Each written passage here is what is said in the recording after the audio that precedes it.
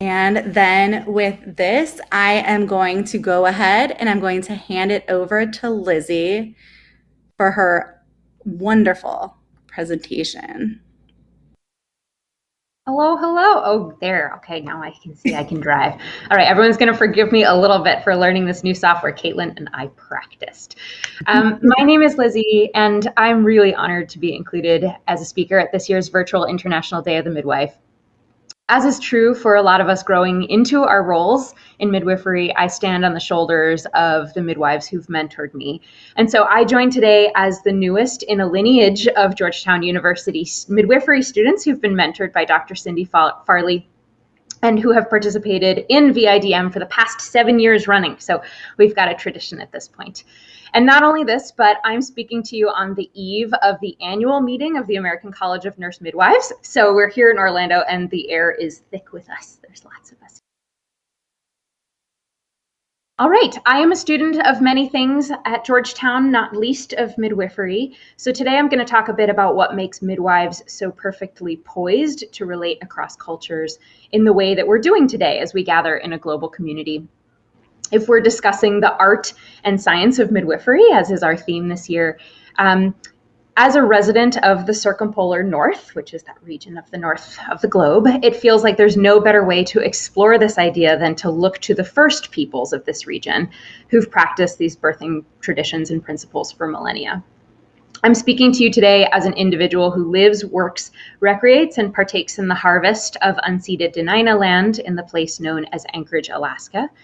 I just wanted to mention off the bat that I don't identify as a member of any of the Indigenous groups that I discussed today, and so I speak from a position of humility, of curiosity, and of commitment to doing what I can to elevate Native voices. I'm speaking with you today about what maternity and childbearing looks like in the remote circumpolar north, including some of the pervasive health disparities in these remote regions, I'll touch on how the examination of childbirth in this region challenges those of us who have been raised in the Western colonial medical tradition to adopt a more global approach to care and to ethics. And then I'll share some selected trad- traditional birth practices from the first peoples of the circumpolar north. As Caitlin mentioned, we do have time for questions at the end, so I invite those Yes. Um, okay, so first, I was just about to set the stage, so I'm going to keep setting the stage. Um, when we talk about exploring other birthing cultures from our positions as midwives, I emphasize that it's not to become an expert in that culture so much as it's renewing our commitment to health equity and exploring these ideas from a position of humility, right? We talk about cultural humility versus cultural competence. And I emphasize this because the historical trauma from colonialism, from structural racism, from casual and intentional researcher misconduct on Indigenous populations is still felt acutely. And we could argue that this is no more true than in the care of women and birthing people. So I think it's fair to say that while the deep foundations for our work lie in the steady hands of granny midwives and of wise women and other revered female elders, in the modern era, we do know that the care of childbearing people is heavily influenced by the white and the patriarchal and the medical systems. So while we focus daily on advocating for physiologic birth, um, on health equity within that Western framework, on a broader scale, we do have a lot of work to do in making room for incorporating these culturally valued traditions into pregnancy in the birthing sphere. So, how we reclaim these ancient, these really rich ancient ways of knowing about pregnancy and birth and child rearing is really exciting and a long overdue initiative that we as midwives are perfectly poised to undertake. Here's a few reasons why. First of all, we as midwives, we care for the whole person. We are advocates with that wide angle lens. We're really good at talking about how can I support this whole person and this person in the context of their circumstances.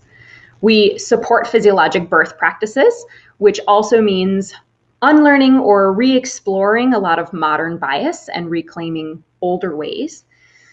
We are nimble, both literally and figuratively, in adapting the shifting pressures and powers and passages and passengers of our profession. And then finally, we're humbled on a daily basis by the power and the unpredictability of birth And I think that humility that we practice on a daily basis is the key to us being allies in the reclamation and the sovereignty of birth by Indigenous women and birthing people and Indigenous midwives.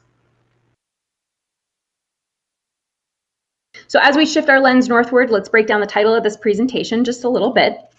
When I say circumpolar, I'm referring to the land that borders the Arctic Ocean. So you can see on this map here, it's made up of the nine countries uh, on the map, which include the United States by virtue of Alaska, Russia, Finland, Sweden, Norway, Canada, Iceland, and then Denmark by virtue of the Faroe Islands and Greenland.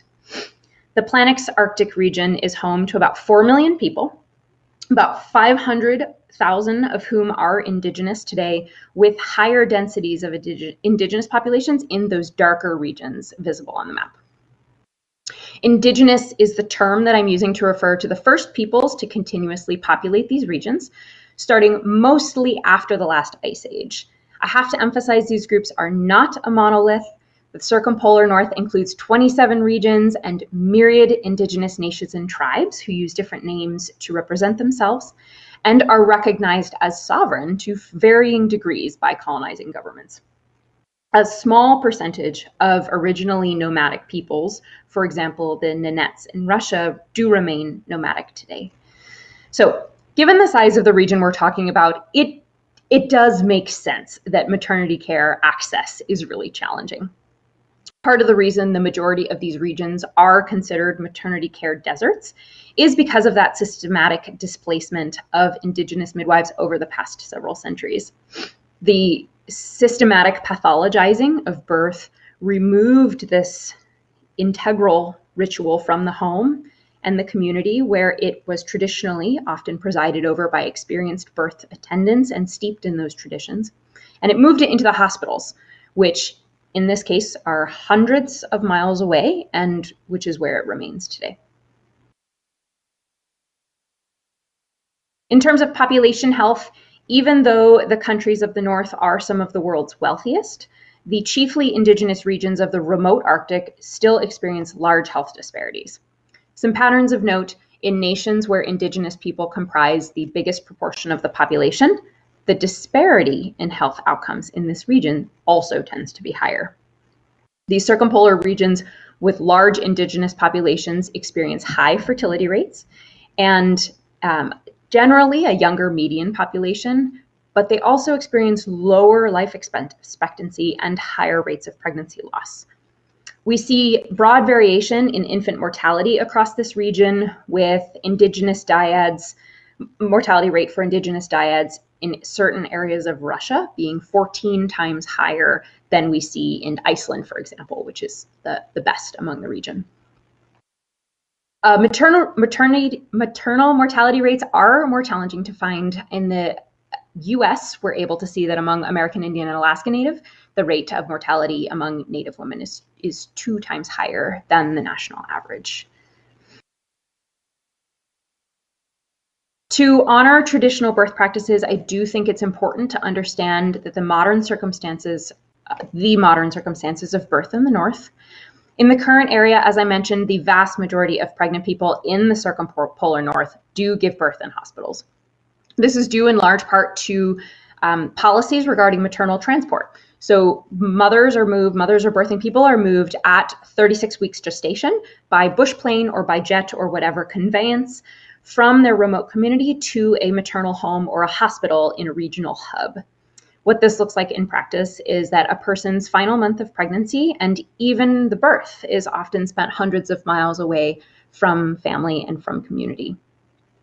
Anecdotally, um, in my own personal clinical experience and from interviews and studies, such as this New York Times article that I've screen capped here, mothers do describe a type of community that develops in these sort of dormitory like environments, but you can imagine the profound disruption that happens and that is inherent in this new Western custom around birth, um, which in many countries is actually reinforced by law or at least by insurance policy. So, for example, in regions where transport to outside services doesn't arrive in time, or parents elect not to travel to a maternity center, they might give birth at home. In, in um, the case of the Nenets who remain nomadic in Russia, they may birth on sledges or tents as they're following caribou herds, but it may also happen, as we see in Alaska, for example, where families may decline the, the flight or they may go into preterm labor and, and uh, start to labor before the flight happens. We are beginning to reach a bit of a tipping point in birth care in the North, where it's increasingly clear how policies that evacuate these geographically remote families to hubs or to hospital centers in that last month of pregnancy can be harmful and expose individuals to bias, to racism, and to trauma. Well, the practices enable a more rapid access to those higher levels of care. I'm a NICU nurse by training, a neonatal intensive care nurse. So while we do see the benefits of this uh, more rapid escalation to higher uh, levels of medical care, it also prevents individuals from accessing those resources and that community support and those skills that they have in their community to navigate this really vulnerable perinatal period. So, as I mentioned, I saw this play out um, this on a daily basis in the neonatal intensive care unit as a nurse in Anchorage. Um, and in fact, this is largely what motivated me to become a midwife and also motivated my doctoral work in perinatal mental health. Um, what is encouraging is that we see that policy being challenged and changed by Indigenous and professional organizations across the circumpolar North. Recently, there are a few promising studies that have explored community birth led by Indigenous midwives in Quebec and in Greenland. And when the majority of births took place in the community, parents valued the cultural support, they valued the continuity of care, and we saw fewer obstetrical interventions were necessary. So that's woohoo, that's always a really validating outcome. Um, when we think about health disparities in the circumpolar region, they are due to a large part to these enormous tracts of land that are sparsely populated. And so access to maternity care services, even in the best of circumstances, would be challenging. But further complicating this is the continued influence of colonialism that I mentioned before. And this is manifested through a lot of different ways. We see the forced relocation and centralization efforts so this isn't just the maternity home model, this is also the historical forced settlement of nomadic peoples into fixed villages. We see this all throughout the modern day in history in development and resource extraction that's impacting access to subsistence foods. In Alaska, for example, we're talking about the Willow Project these days. We see it in the historical assimilation efforts that were aimed at erasing, systematically erasing Indigenous culture and language and then, of course, the ever increasing burden of climate change. I do have to emphasize that climate in this case is not a tangential discussion. It's actually critically important, if not the most critical, critically important factor influencing um, long term maternity health. And that's because the poles of the planet actually experience climate change at twice the rate of the rest of the world, meaning that this ongoing effect of rising seas and intensifying storms and thawing permafrost and enormous forest fires and changing migratory patterns, they're all impacting the health and well being of Indigenous peoples and all the peoples living in these regions to an outsized and disproportionate degree. So, here on this map, for example, you see what access to maternity care looks like in Alaska, where these darker regions on the map indicate zero resources, minimal or zero resources. And then clockwise, you can see some of these dramatic impacts of climate change, major floods. In 2019, millions of acres of the Arctic burned in forest fires.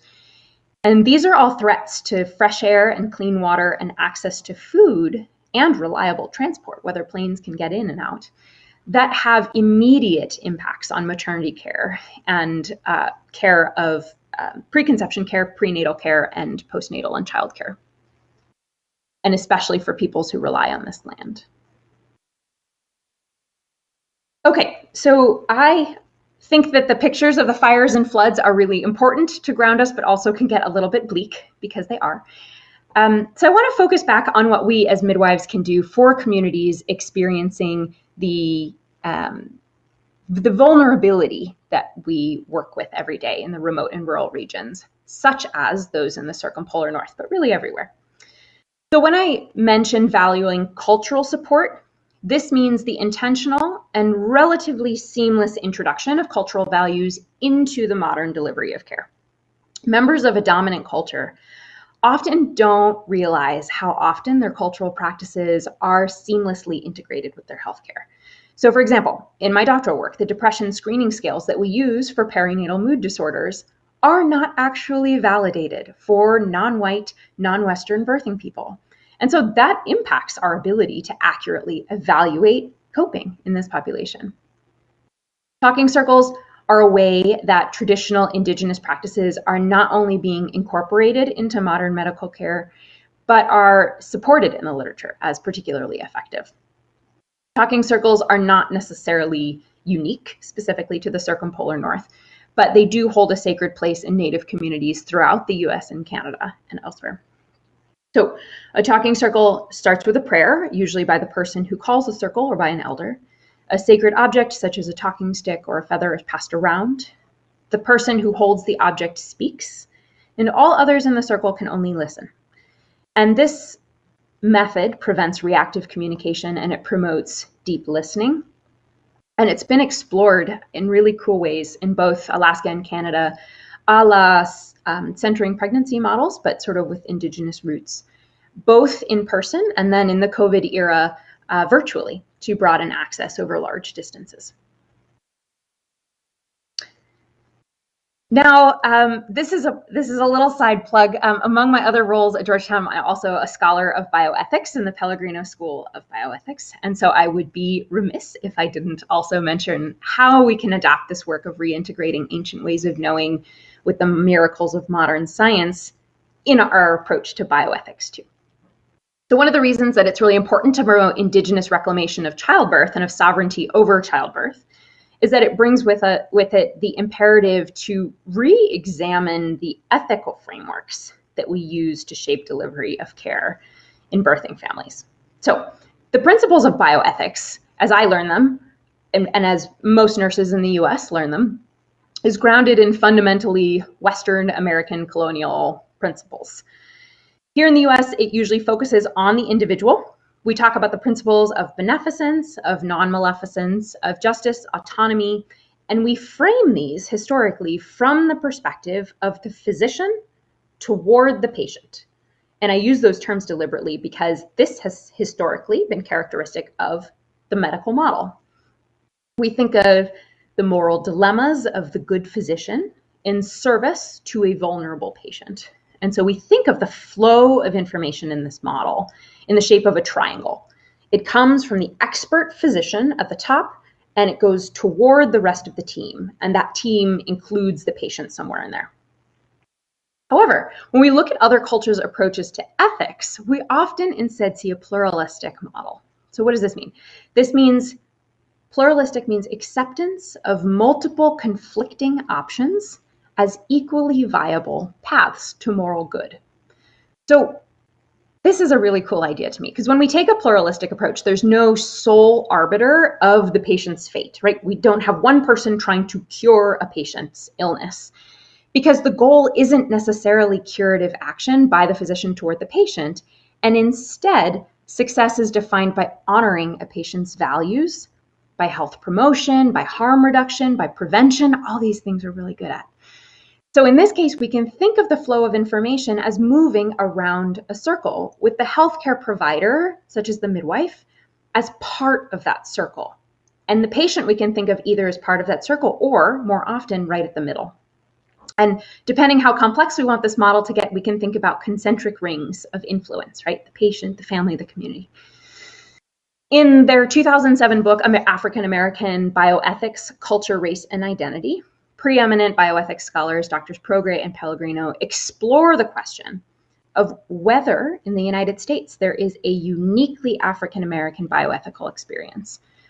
And a host of American uh, experts ultimately conclude that there is.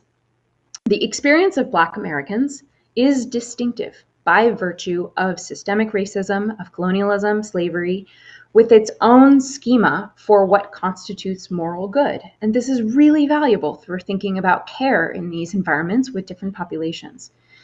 And so, as a student of ethics myself, and someone who chose to become a midwife and to work in the service of Indigenous communities, I think it's also really important to consider how Indigenous First Peoples may also have a unique bioethical experience. And so, adopting this pluralistic mindset could fundamentally reshape our approach to the care of Indigenous birthing people. And I think a lot of the health disparities we see are direct results of that hierarchical triangle model that we see on the left and the systemic injustices that that model enables. So, my thinking is what if we just as systemically adopt the model on the right? So that's my proposal for today. Um, and of course, here's the big asterisk. When I say readopt, I really, when I say adopt, I really mean readopt or restore this pluralistic approach to bioethics because, of course, this idea comes from the ancient indigenous traditions of communal decision making, of storytelling as tools of healing and collaboration from this willingness to hold simultaneously these multiple perspectives as equally true. And so, in this way, I think we're challenging ourselves. I think that challenging ourselves as midwives, as medical providers, to adopt a pluralistic ethical approach, which aligns, you'll find quite naturally, with the midwifery model of care that we know and love, enables us to become partners in this ongoing work of reclamation of birth and promotion of birth sovereignty among our Indigenous colleagues and communities. So, recentering the Indigenous voices in the birthing sphere and also leveraging the capacities of modern technology. So, we're thinking about telehealth, we're thinking about mobile ultrasound, home testing kits, medications by mail, all these modern miracles that we have to work with. They allow us to promote evidence based care, but grounded in the values and voices of our rural and Indigenous communities. And so I think we can't talk about where we're going from here without honoring the practice and the passing of the talking stick. And so this brings me a little bit to sort of this next section of our of our time together where we talk about we reflect about childbirthing practices and different cultures and why we do it. Firstly, we do it because it's really fun to learn how different groups celebrate momentous events across the world. But and from an anthropological perspective, childbirth traditions facilitate social acknowledgement of milestone events and they foster community at the same time. Ceremonies that honor pregnancy and birth allow communities to formally welcome newborns and to support growing families. And they offer new families a sense of belonging and they signal to both parties the tangible and emotional assistance that's available, that's being offered to families during the period of adjustment, which in the modern day is often quite a challenge. Knowledge of cultural practices is handed down through generations. And so this continuity strengthens communities both laterally in, in the now time, but also longitudinally across that generational continuum. Traditional birth work is experiencing a grassroots revival right now um, as the recognition of these the healing and caring methods in this work grows.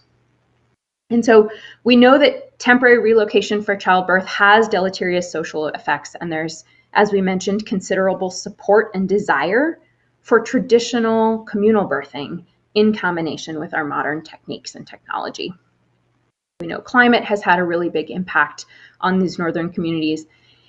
And so, gaining a sense of the importance of birthing traditions and how historically birth has worked in these communities allows us to refocus on the Indigenous individuals at the center of their own care and work towards reclaiming the power and sovereignty over birth.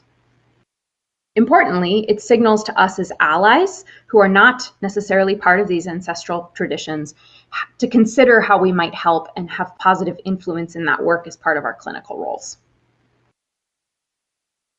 So now we'll touch on some traditional cultural practices from around the polar region um, I have select examples from the Nenets peoples in Russia, the Sami in Scandinavia, and the American Indian Alaska Native peoples in Alaska, and the Inuit of US, Canada, and Greenland. These groups, I, I re-emphasize, have ties that cross socio-political boundaries that are imposed and influenced by colonizers. So within each of these groups are different nations and tribes that carry their own customs, their own norms, and so while many folks share common ancestors, um, their separation from modern borders and tons of water and tons of land um, has resulted in changes. So, as you can imagine, there is no way, no way at all to capture the nuance and breadth of tradition in this enormous region and this enormous time period that we're talking about in this super short little presentation. So I'm really just offering select examples of birth traditions in some of these regions on the theory that the awareness of these backgrounds could benefit midwives working with families from these regions and help make more person-centered care. Um, many of the traditions have been gleaned through stories from elders, and they may or may not be part of the traditions of birthing peoples who present to care today. So I like to say this is just the tip of the iceberg, which feels like an apt analogy. Um, and just a quick reminder that while I honor the cultural traditions, they are not part of my own ancestral heritage. So when we get to questions, please pipe up with additions or corrections or updates if you have them. Okay, first things first, how do we view pregnancy? One of the most lasting traditions, to the extent that broad generalization is possible, is that pregnancy is not infirmity and that hospitals can be a touch accept- excessive um, in terms of approach to birth as a normal part of the life cycle. And in keeping with that idea, we see that often pregnancy is approached with pragmatism. In traditional indigenous communities throughout the North, pregnant people more or less continue about their daily activities. You may know people who do that very gracefully. Um, Traditionally, frequent exercise and a nutritious diet, diet have been honored responsibilities of the birthing person. For example, in Alaska, Alaska Native American Indian communities and Inuit communities in the north have encouraged pregnant women to be active after waking and also after eating. So we're thinking about walks or berry picking. Um, and the goal here being quite intentionally to ensure that the baby develops a strong heart and doesn't gain too much weight all of which are known uh, over long periods of time to complicate labor. The role of the father does vary by region. So, in some cases, he's very involved in preparations, and in other communities, such as the Nenets, the birthing preparations may not even be seen by the men. And so, preparations can historically include collecting of sphagnum bark, bark and birch pulp for diapers, or maybe having a steam bath to promote circulation, um, and also to avoid malpositioning of the fetus. In terms of nourishment, apart from berries, many of the subsistence cultures don't necessarily emphasize specific foods for pregnancy or birth, other than a varied diet rich in protein during pregnancy, because of course, this diversity of diet is readily supplied by a subsistence diet. And then after birth, we see uh, emphasis on easy, easy, to digest broths with protein um, for recovery and promoting lactation. And then there are some traditions of um, abstinence from certain types of food, but traditionally have having more to do with the role of, of Christianity. In terms of laboring practices, the Nenets traditions focus around fire, which is considered the symbol of life. So a, a woman may labor on her hands and knees or squatting to position the baby's head towards the fire. And then when the baby crowns, she will turn her face to the fire alongside her newborn. Throughout the throughout the the period of birth, the Sami honor the goddess Máttaráhkká, the mother deity. She lives in the farthest place in the house from the hearth. And then Sarakka is a fertility god, goddess and a protector of the, fo- uh, the family and the home, and she lives under the hearth. We see in the Inuit traditions um, stories and art pieces that illustrate a kneeling position of the midwife. So you see that here in the soapstone carving uh, with support from behind. And we also hear stories about sawing a hole in the bed to prepare for the baby to descend through. So I think of that as like the original breaking the bed. And then many peoples in the region, including the Nenets and the Inuit, do value culturally the stoicism during labor. So that um, presents as limited vocalizations and uh, lesser requests on pain medication or desire for pain medication. So, who is there? Who's present at the birth? The major difference we see traditionally between the Nenets and the Sami is the role of the father in, in the birth. So, for the former, the man's not necessarily present or involved at all, and nor are male deities.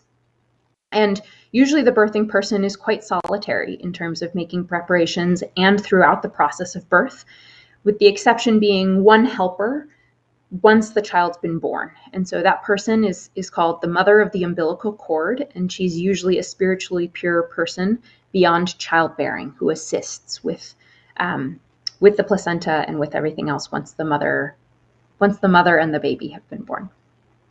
In the Sami tradition, it's actually quite the opposite.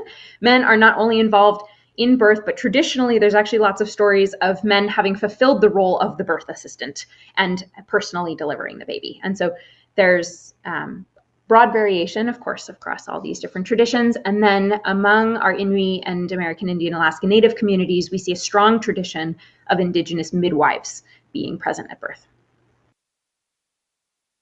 Once the baby is born, all of the cultures of the circumpolar north emphasize immediately getting up and moving to stave off bleeding.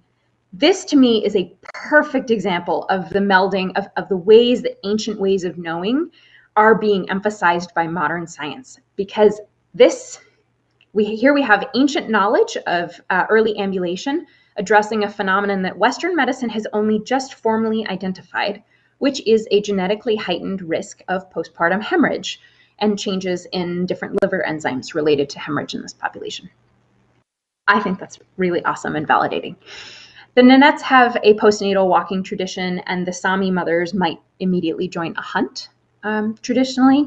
And then we see ritual cleansing after birth throughout the region. Nenets may undergo a ritual chaga wash and an herb smudge for both of the dyad as cleansing. Others may sweat, others may steam. And finally, I'll close with blessings and prayers for the baby. There's been a resurgence among Indigenous women and birthing people in reclaiming tattoos, which are traditionally bestowed for various rites of passage. And so we see facial tattoos being sewn into the skin for womanhood, and we see thigh tattoos being inscribed on the legs to honor motherhood. And that's so that the first thing the baby sees upon entering the world is beauty. To mark the birth, the Nenets say, We managed to catch the running child. And they also rename the mother as well as the child.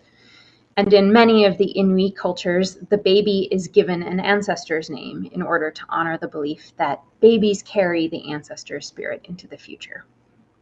And so this this final image is is really, I think, one of my favorite in terms of illustrating our work that we're doing in promoting the rebirth of ancient knowledge in a modern world. And I hope to leave that with you today. I hope to leave you with a reminder that relating across cultures and that advocating for Indigenous reclamation of birth, that acknowledging the ongoing traumas of colonialism need not be an obstacle for us in the delivery of care, but it does require intention and humility. And so it's an opportunity, a challenge to all of us, and it's an extension of what we do every single time we manage to catch the running child. We hold the future and this ancient knowledge both in hand. We honor, we educate, we advocate.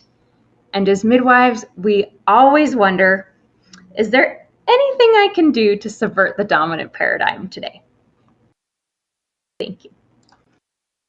Here is my info. Of course, I can give you references upon request. And please, let's open up the floor. I welcome any questions and especially additions, corrections, and, and other feedback. Thank you.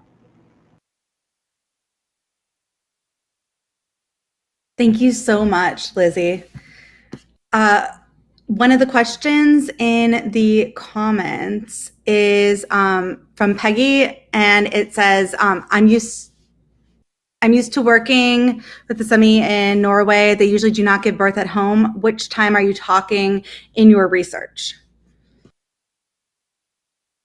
Peggy, thank you. This research is mostly traditional practices. So when we're looking at sort of pre-colonial periods and we're when we're looking at um, this idea of reclaiming ancient ways of knowing and some of the, the practices that have been ushered out with the advent of modern medicine and the influence of colonialism. And so um, I would love to hear more about your experiences because, of course, this is what I'm finding in my own searching and my own conversations. So thank you.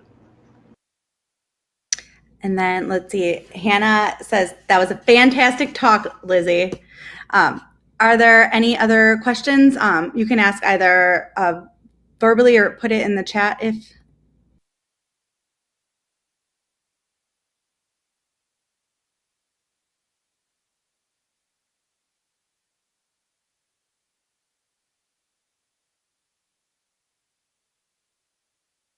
I think I mostly have my hype team here that's just saying hi to me.